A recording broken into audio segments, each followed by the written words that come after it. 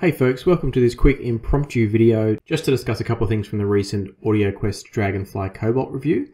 In that review I was talking about MQA and I incorrectly called it Master Quality Audio. I've been corrected by a viewer Lan Yi O. Um, it's actually Master Quality Authenticated is what it should say. So my apologies for that error and thanks for pointing that out. The other thing that he mentioned is that the first unfold that's done in software actually goes up to 96 kilohertz and 24 bits. So in other words, it's already giving you the high res even without a DAC like the Dragonfly. So this got me to doing a bit more research. I was able to find some much better information and I'll share two links, one of them provided by Lan Yeo and the other one that I found myself as I went hunting.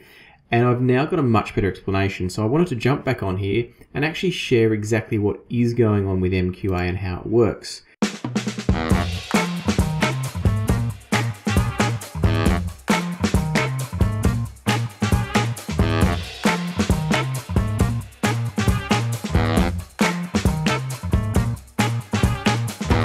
So you'll see here I've got Roon open with Tidal showing and I've plugged in a few different DACs. So I've got the, the Schiit Gungnir multi-bit plugged in which is not an MQA DAC.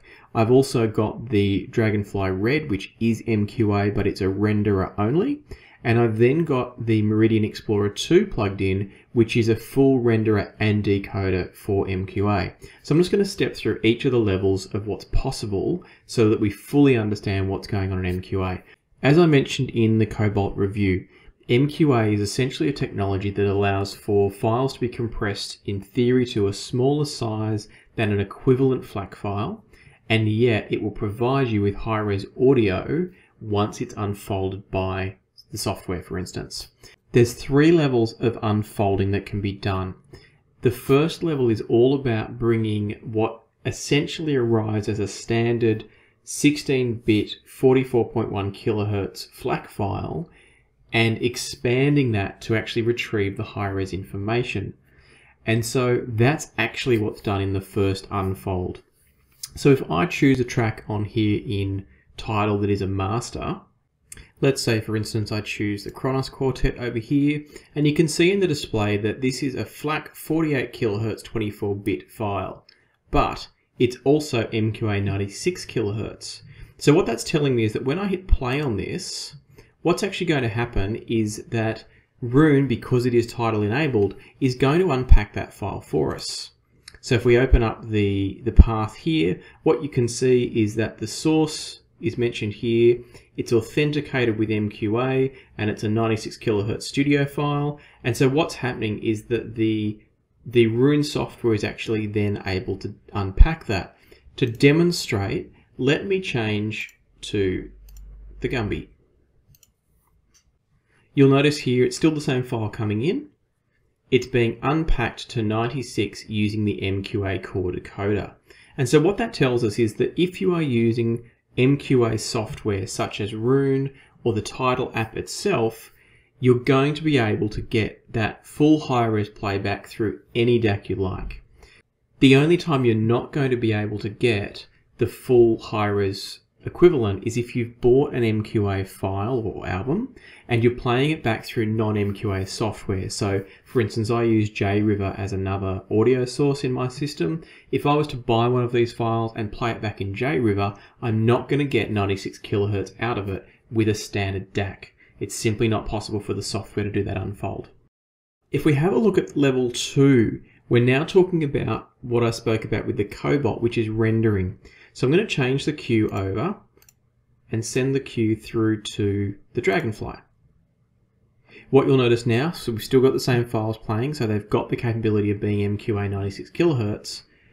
And what's happening now is that the core decoder, which is the software decoder, is still happening in Roon. What Roon is then doing is sending it to the MQA renderer, which is the Dragonfly. So from the reading I've done, what that means is that after the software does the initial unfold, which is the most intensive part of the process, there are then some fine details that are able to be further enhanced through the, in this case, the Dragonfly, so through a, a true renderer. So what that means is that when you're buying a renderer, you're getting something that's less expensive than a full decoding solution, but it means you can play back full quality MQA audio so long as the first part of the chain is an MQA recognized software such as Roon or Tidal, or on an Android phone, you might be using the USB Audio Player Pro, which connects up with Tidal beautifully as well. So, any of those softwares that have the ability to do that first unfold of the audio and can then allow the renderer just to put the finishing touches on. Now, some further information that Yan Liu shared with me, and I'll put the link down below, would suggest that this final piece may come down to the way the audio is actually filtered and managed in the decoding. So it's not increasing resolution so much as making sure that, it, that the signal is handled, reconstructed into an analog format in just the right way. So at this stage, what we're seeing is that something like the Dragonflies are actually just as good as something like the Meridian Explorer, so long as you're using it with software that does the first stage of the unfold for you. When the materials I was reading on the MQA website were sort of talking about three levels of unfolding, it's a little bit misleading. In some ways, there's really only two from what I can tell, which is that the file gets first of all taken from being a standard FLAC file to a high res FLAC file, and then it's being further finessed in the rendering stage. Just to put that into context, let's go and have a look at a full decoder now, and that is by looking at Meridian Explorer 2. So we're having a look at the Meridian Explorer 2 now, and if I open this up, what you'll notice is that the same file's coming in, or the same format's coming in, and what's happening is that it's being authenticated as a studio file, but then it's just being handed straight through to the DAC. So everything is being done in what it's calling here the MQA full decoder, which is the Meridian Explorer 2. Essentially what this means from everything I've read is that if you were to use software such as JRiver for instance, you would actually be able to play a, an MQA file that you own straight through to the Explorer and it's going to take care of the unfolding at the first level to a high-res file and then further render it into the fully fledged MQA experience. So I've jumped over now to JRiver just to confirm the theory that if I play a an MQA file that I own. It's a, a, file on my hard drive. It's not coming through Tidal or anything like that. If I play that direct to the Meridian Explorer, and I've set that all up in here, so it's the Explorer has been selected. It's running in exclusive mode. I've switched off all DSP, so it's a bit perfect stream going straight to the Explorer. If I now play that, in theory, it should give me MQA audio, and I can see looking at the Explorer that the blue light has come on to say that it is MQA. So flipping back and forth between Roon and JRiver, what I'm seeing is that in both examples, the Meridian Explorer is playing as if it's a fully decoded MQA file, which is what I expected from everything that I've read. In contrast, if I send that same file to the Dragonfly Cobalt now, I'm noticing that the Cobalt light turns purple if I'm playing it through Roon, and because we're seeing what we saw before, which is that it is being recognized as MQA and it's being decoded within Roon before it's handed over to the Cobalt. However, if I play the same file, exactly the same file, within JRiver, and just confirming once again that I'm sending this through with absolutely no adjustment to the audio, so it's all bit perfect. So there's nothing that should be getting in the way of it recognizing that it's an MQA playback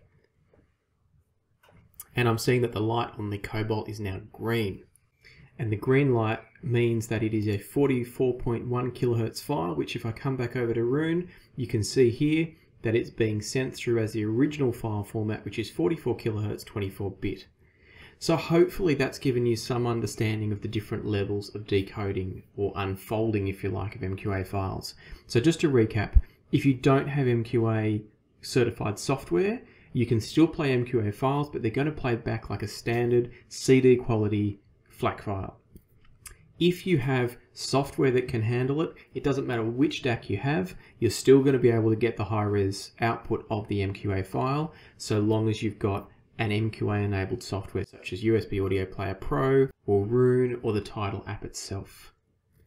If you then add a renderer to the system, you're going to get an extra level of quality out of those files once they've been decoded by the software, but you do need the software to do the first layer of decoding. And finally, if you go to a fully fledged decoder like the Meridian Explorer 2, it doesn't matter what software you're using, as long as it's not messing with the file on its way through to the actual DAC, you're going to be able to get all of the quality out of the MQA file because that decoder can do the first unfold to get the high res information and then it can do this the rendering as well which is where you get the extra layer of finessing and filtering that happens. So hopefully this is helpful. Again, apologies that there was some misinformation in the original review of the Cobalt. Hopefully this has clarified it for you. Uh, thanks for checking out this video and I'll look forward to seeing you again soon on Passion for Sound.